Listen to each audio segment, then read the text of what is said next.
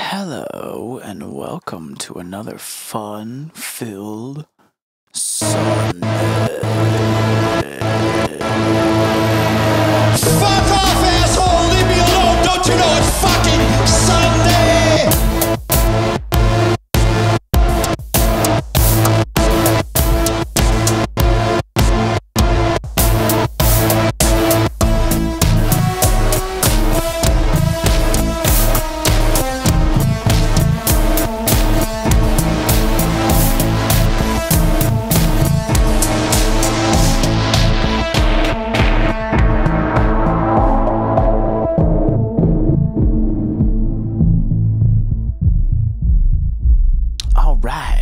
What we're going to take a look at today is called the the Nebula Clouds synthesizer.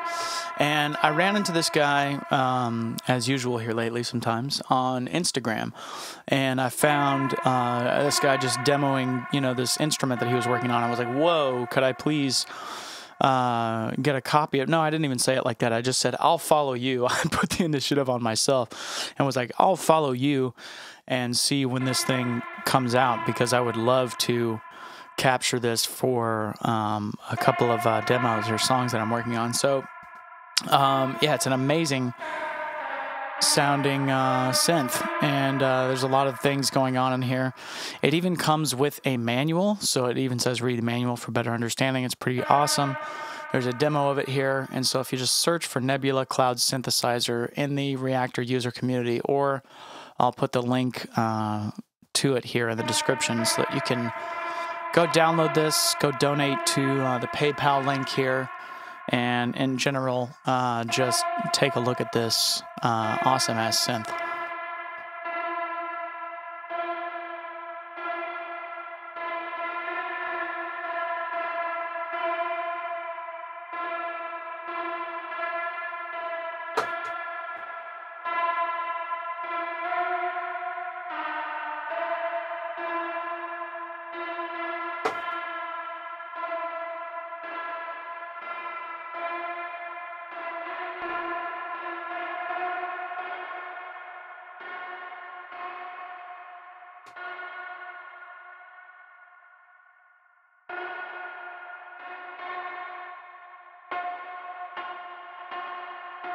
It's like a spirograph reverb control.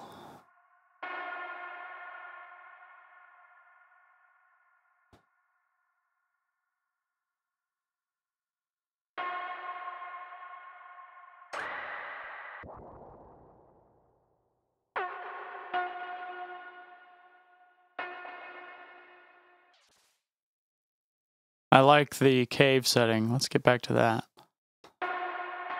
Yeah. Yeah, and then this on this side is uh, it looks like the mix. I'm trying to figure out where.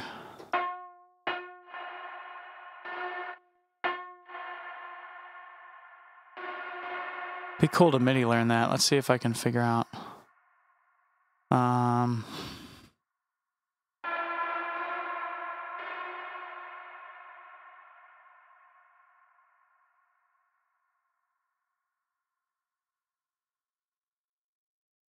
Let's see.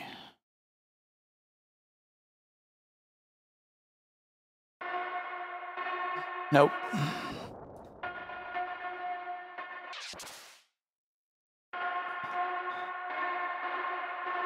But at any rate, I can I can try to spend time figuring that out. Um, what I would also recommend is that you uh, take a look at the um, the manual because that's going to also explain a lot uh, with how this thing's going to work. So um, we can come right to the navigation here and check out the user manual. So generators, uh, Nebula sounds are generated in two different generators. Generator one is a different type of source, it can be step ramp oscillator, noise generator. Generator two is an impulse oscillator with a hard sync and frequency modulation from generator one. When generators are not controlled by MIDI input, they run in low frequency range. So it acts like an LFO if it's not, you know, doing anything, if it doesn't have an input, I guess. Uh, NB is not the noise generator. Controls are shown when you click or pass over with your mouse device. Oscillator morph. I see.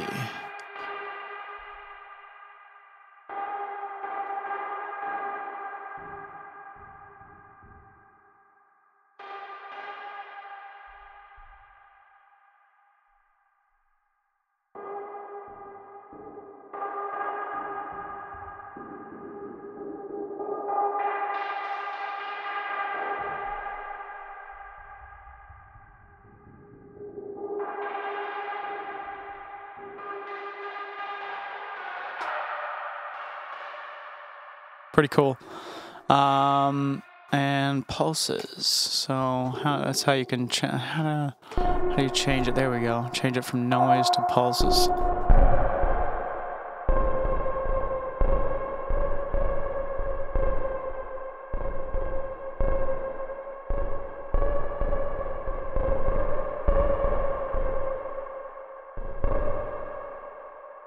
And let's see, mouse area module detects and inputs mouse actions that take place in the panel. Mouse actions include button clicks, mouse drags, changes in position. Typically, the mouse area module is used in invisible overlay on top of other modules. Placing this over the multi-display allows for highly customized interface elements. Drag and drop of samples using table references. Oh, cool. So this uh, has some kind of visual change. It's like an FM.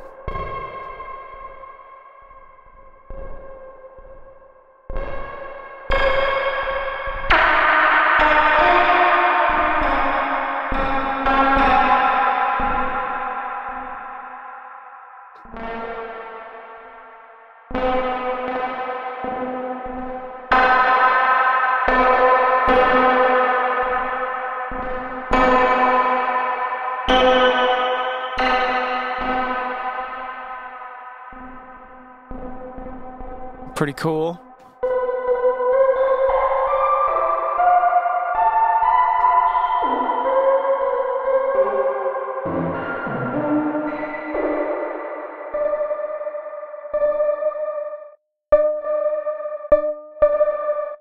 Seems to respond to a sideways input the best.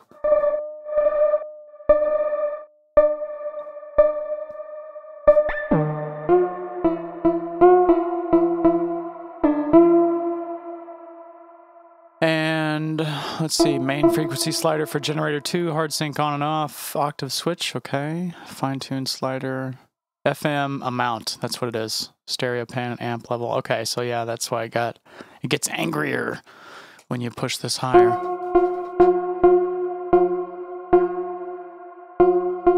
And push the amp up too, I think.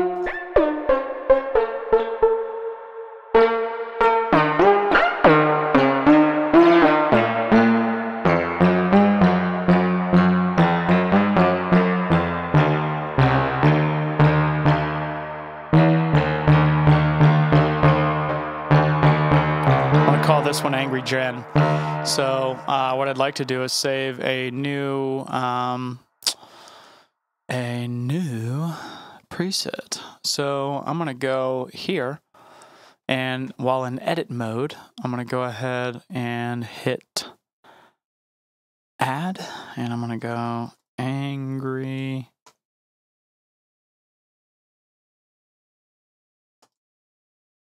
Jen.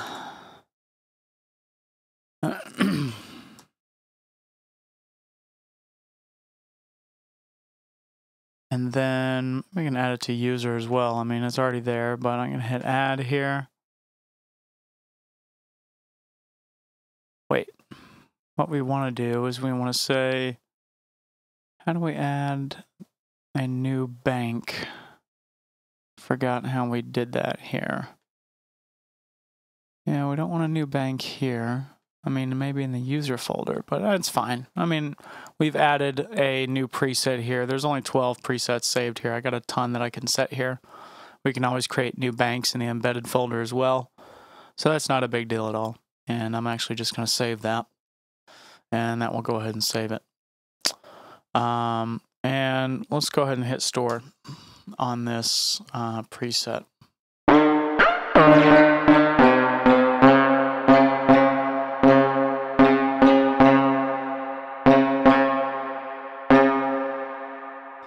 See, this is, this chooses uh, different waveforms uh, for the LFOs. And where can, how can we route those? So I guess that's the modulation matrix, is that can be routed. So let's learn how the modulation matrix works. Uh, LFOs and sample and hold, or three wavetable LFOs can be sent via the modulation matrix. Each slider correspond at rate amp wave. Every LFO can be synced to the main clock or eventual host. And modulation matrix here is a smiley face. Uh, is useful to achieve rich modulations in your sound. There are 234 points of modulation. Modulation levels can be adjusted with attenuators. Each matrix destination has its attenuator slider modulations and input. Left are EG1, 2. Modulation modulators in input are on the left are these EG1, 2.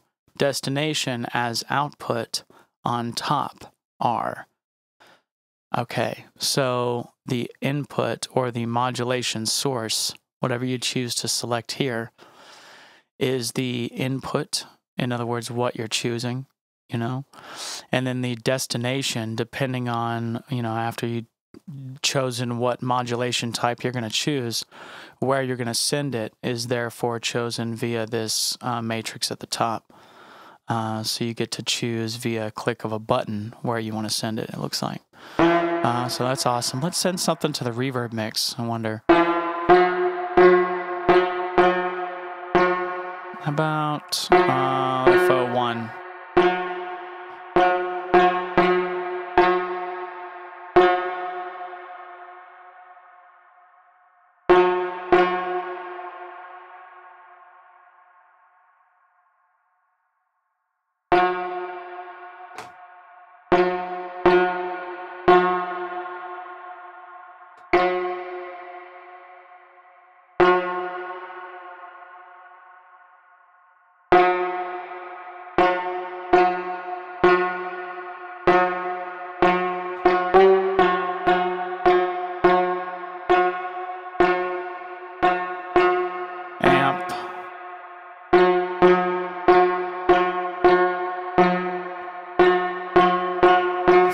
it out.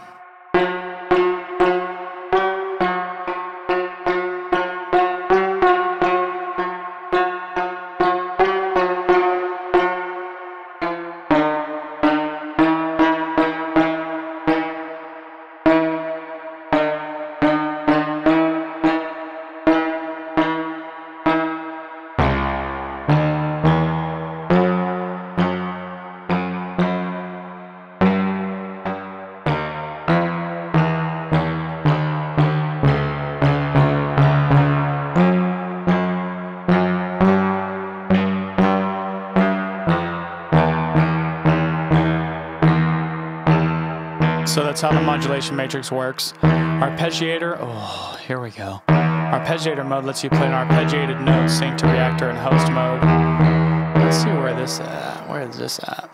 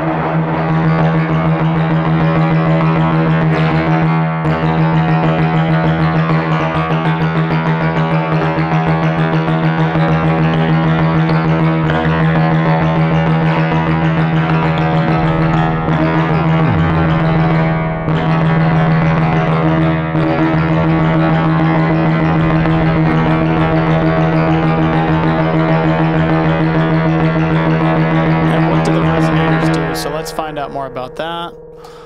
Um, the resonators. Multi-band filter, I know what that does. Resonators.